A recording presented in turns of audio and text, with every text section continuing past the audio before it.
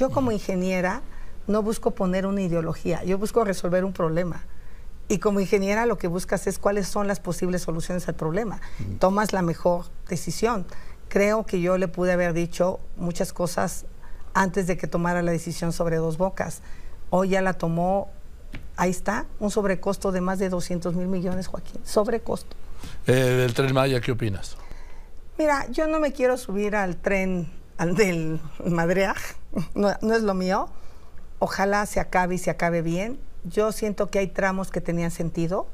El de Mérida a Palenque y a Cancún me parece bien porque ya estaba impactado, ya había una carretera. Lo que no puede hacer es que en el tren te hagas nueve horas y en coche dos, o sea, porque entonces eso no va a funcionar. Entiendo que aceleran los procesos. Otra vez, deberían de escuchar